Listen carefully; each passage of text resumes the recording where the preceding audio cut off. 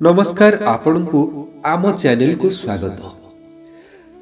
ଆଜି ଆମେ ଜାଣିବା ଯଦି ଆପଣଙ୍କର କେହି ଶତ୍ରୁ ଅଛନ୍ତି ସେ ଶତ୍ରୁକୁ ଯଦି ଆପଣ ସ୍ୱାଗତ କରୁଛନ୍ତି ଶତ୍- ଶତ୍ରୁକୁ ସତ୍କାର କରୁଛନ୍ତି ଶତ୍ରୁକୁ ଆତିଥ୍ୟ ଭାବ ଦେଖାଉଛନ୍ତି ତାହେଲେ ସେ ଶତ୍ରୁକୁ ସ୍ୱାଗତ କରିବା ଦ୍ୱାରା ଆମର କ'ଣ ଲାଭ ହେଉଛି ନା ଆମର କ'ଣ କ୍ଷତି ହେଉଛି? ଶତ୍ରୁକୁ ତ କେହି କେବେ ସ୍ୱାଗତ କରେନି ନା? ଶତ୍ରୁକୁ ସମସ୍ତେ ଶତ୍ରୁ ଭଳି ବ୍ୟବହାର କରନ୍ତି। ତେଣୁ ଶତ୍ରୁକୁ ଯଦି ଜଣେ କେହି ସ୍ୱାଗତ କରୁଛି ତାହେଲେ ସେ ଶତ୍ରୁର ମନରେ କ'ଣ ଥାଏ? ଶତ୍ରୁ ତମ ପ୍ରତି କ'ଣ ଭାବେ? ଆଜି ଆମେ ଜାଣିବା ଗୋଟିଏ ସୁନ୍ଦର କାହାଣୀ ମାଧ୍ୟମରେ। ତ ଆପଣଙ୍କୁ ମୁଁ ସେଇ କାହାଣୀଟି କହୁଛି। ସେ କାହାଣୀଟି ଶୁଣି ସାରିଲା ପରେ ଆପଣ ନିଶ୍ଚୟ ଜାଣିପାରିବେ ଯେ ଯଦି ଜଣେ ଶତ୍ରୁକୁ ଆମେ ସ୍ୱାଗତ କରୁଛେ ବା ବନ୍ଧୁତା ଭାବେ ତାକୁ ସତ୍କାର କରୁଛେ ତେବେ ସେ ଶତ୍ରୁ ଆମ ପ୍ରତି କେମିତି ବ୍ୟବହାର କରେ ତ ଗୋଟିଏ ରାଜ୍ୟରେ ଜଣେ ରାଜା ଥିଲେ ରାଜା ଦିନେ ଦିୱାନକୁ ତୁରନ୍ତ ଆସିବାକୁ କହିଲେ ସମ୍ବାଦ ପାଇ ଦିୱାନ ସଙ୍ଗେ ସଙ୍ଗେ ଆସି ଛାମୁଙ୍କ ସମ୍ମୁଖରେ ଉପସ୍ଥିତ ହୋଇଗଲା ଦିୱାନକୁ ଦେଖି ରାଜା ତାକୁ ଆଦେଶ କଲେ ଦେଖ ଆଜି ରାତ୍ରିର ତୃତୀୟ ଘଡ଼ି ପରେ ଏକ ସାପ ଆସି ମୋତେ ଦଂଶନ କରିବ ସେଥିଲାଗି ତୁମେ ମୁଁ ଯାହା କହୁଛି ତାକୁ ପାଳନ କର। ଦିୱାନ କହିଲା ତାହେଲେ ଆଦେଶ ଦିଅନ୍ତୁ ଛାମୁ ଆପଣ ଯାହା କହିବେ ତାହା ମୁଁ ଶିରୋଧାର୍ଯ୍ୟ ପାଳନ କରିବି। ଆପଣଙ୍କ ଆଦେଶ ପାଳନ କରିବା ମୋର ଧର୍ମ। ଆଦେଶ ପାଇବା ମାତ୍ରେ ସଙ୍ଗେ ସଙ୍ଗେ ଯାହା କହିବେ ତାହା କରିବି। ରାଜା କହିଲେ ଠିକ ଅଛି। ସାପ ଆସିବା ସମୟ ଆଗରୁ ତାର ରହୁଥିବା କୋରଡ଼ ଠାରୁ ମୋର ରାଜ ଉଆସ ଯାଏ ରାସ୍ତା କଡ଼କୁ ପରିଷ୍କାର କରିଦେବ।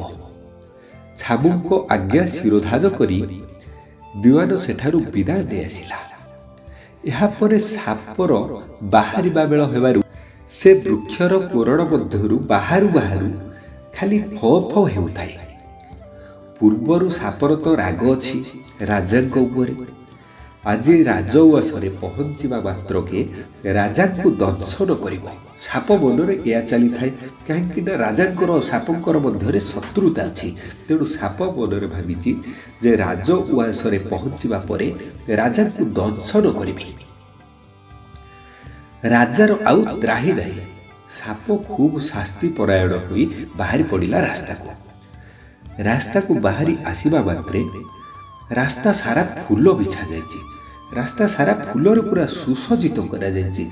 ଏମିତି ଭାବରେ ସ- ସଜ୍ଜିତ କରାଯାଇଛି ଯେ କେହି ବି ଦେଖିବ ତାର ମନ ଉଲ୍ଲାସ ହୋଇଯିବ ସାପ ଆସିବା ମାତ୍ରେ ଫୁଲ ଅତରର ମହକ ପାଇ ସେ ଖୁବ୍ ଖୁସି ହୋଇଗଲା। ସେ ପୁଣି ଯୁଆଡ଼େ ଚାହିଁଲା ସିଆଡ଼େ ଖାଲି ଫୁଲ ସଜା ଯାଇଛି ଫୁଲର ପାଖୁଡ଼ା ବିଛା ଯାଇଛି। ଯିଆଡ଼େ ଯୁଆଡ଼େ ଚାହୁଁଛି ସିଆଡ଼େ ଖାଲି ଫୁଲର ବାସ୍ନା ସୁଗନ୍ଧ। ମୁଖ ବୁଲାଇ ଚାହିଁଲା ଯେଉଁ ଦିଗରେ ଖାଲି ଦୁଗ୍ଧର ପଡ଼ା। ଯୁଆଡ଼କୁ ମୁହଁ ବୁଲାଇ ଚାହିଁଲା ସେଇ ଦିଗରେ ଖାଲି ଦୁଗ୍ଧର ପଡ଼ା ଦୁଗ୍ଧର ସୁଗନ୍ଧ। ଏସବୁ ଦେଖିବା ମାତ୍ରେ ସାପ ସେଦିନ ମୁଗ୍ଧ ହୋଇଗଲା ଖୁସି ହୋଇଗଲା। ମନରେ ଭାରି ଆନନ୍ଦ ହୋଇଗଲା ରାଜା ତାହା ରାଜା ତା ହେଲେ ମୁଁ ତାର ଶତ୍ରୁ ବୋଲି ଜାଣିପାରିଛି ସାପ ମନେ ମନେ ଭାବିଲା ରାଜା ତାହେଲେ ମୁଁ ତାର ଶତ୍ରୁ ବୋଲି ଜାଣିପାରିଛି ସେଇଥିଲାଗି ମୋର ଯିବା କଥା ଜାଣି ଏତେ ସବୁ ଯୋଗାଡ଼ କରିଛି ତାହେଲେ ଏପରି ସୁନ୍ଦର ଗୁଣ ରାଜାଙ୍କୁ ମୁଁ ଦଂଶନ କରିବି କିପରି? ସେ ମୋର ଶତ୍ରୁ ହୋଇଥିଲେ ମୋ ଲାଗି ଏତେ ବ୍ୟବସ୍ଥା ବା କରିଥାନ୍ତା କାହିଁକି? ତାପରି ରାଜାଙ୍କୁ ମୋର ଦଂଶନ କରିବା ଉଚିତ ନୁହେଁ। ଛାଡ଼ ଏଥର ରାଗ ଶାନ୍ତ କରି ଆଜି ରାଜ ଉଆସକୁ ଯିବା। ରାଜାଙ୍କୁ ଖାଲି ଦେଖା କରି ଆସିବା।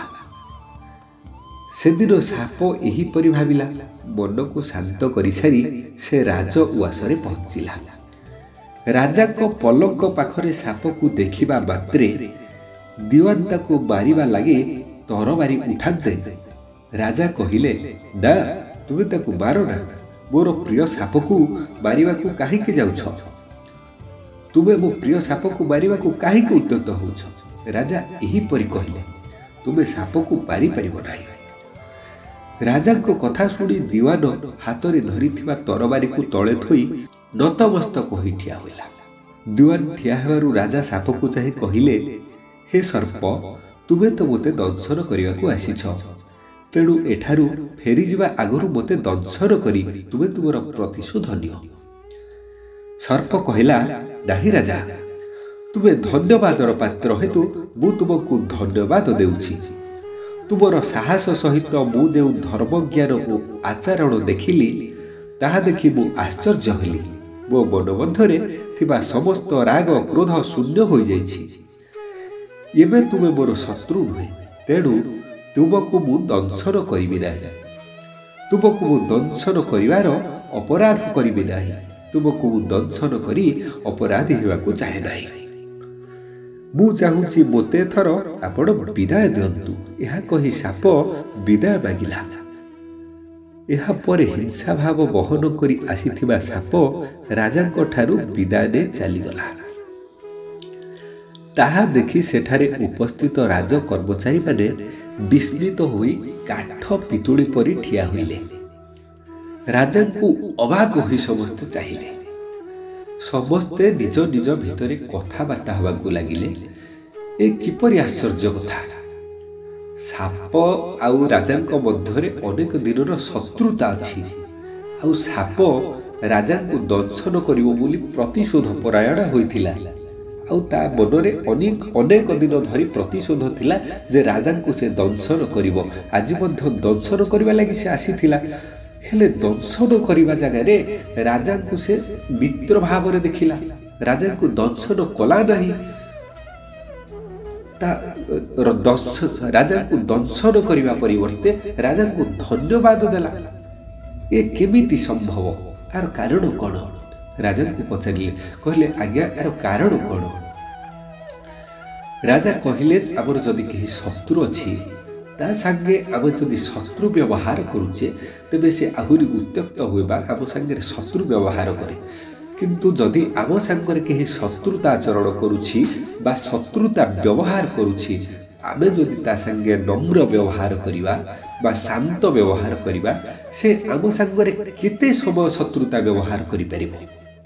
ଏମିତି ସଂସାରରେ କେଉଁ ଜୀବ ଅଛି ଯାହାକୁ ଆମେ ଶାନ୍ତ ସ୍ୱଭାବରେ ନମ୍ର ସ୍ୱଭାବରେ କହୁଥିଲେ ମଧ୍ୟ ସେ ଆମକୁ ଖରାପ ବ୍ୟବହାର କରିବ କେତେ ସମୟ ବା କରିପାରିବ ଦିନେ ନା ଦିନେ ତା ମନରେ ଆମ ପ୍ରତି ମିତ୍ରତା ଭାବନା ଜାଗ୍ରତ ହେବ।